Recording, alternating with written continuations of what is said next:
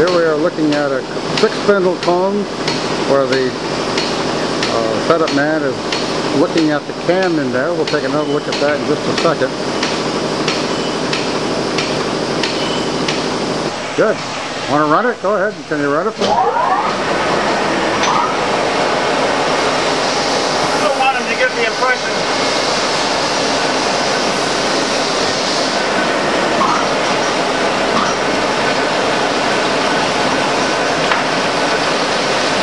You stand up on it to run it. Right. you wouldn't want to do that. I can understand.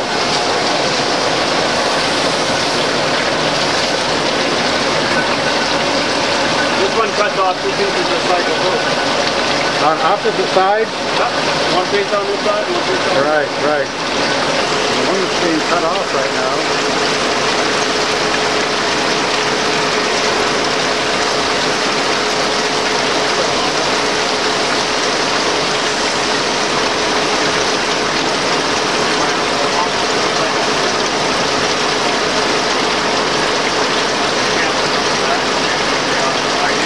Yep.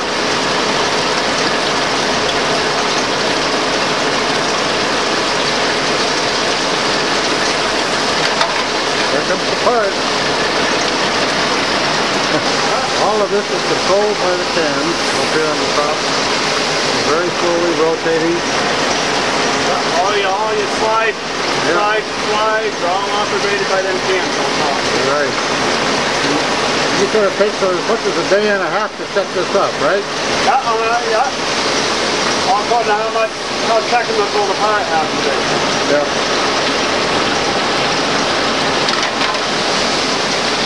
Coming up. Now, now, now she'll index.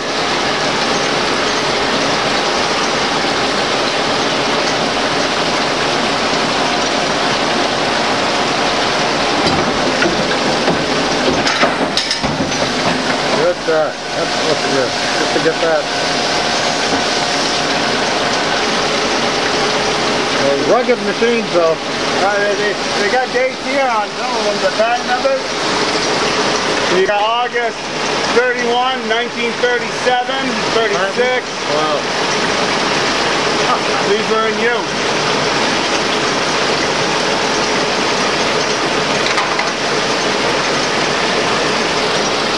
Get that indexing again here. Top, top comes up, pushes it out the piece on top. Yeah. Beautiful.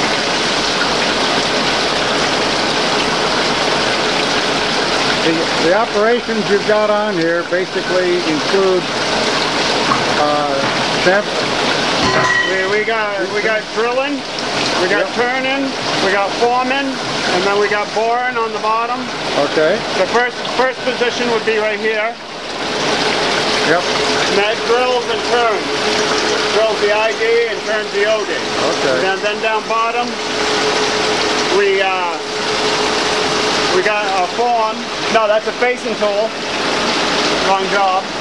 Uh, it faces the first piece and, bo- and bores it. yeah, yeah.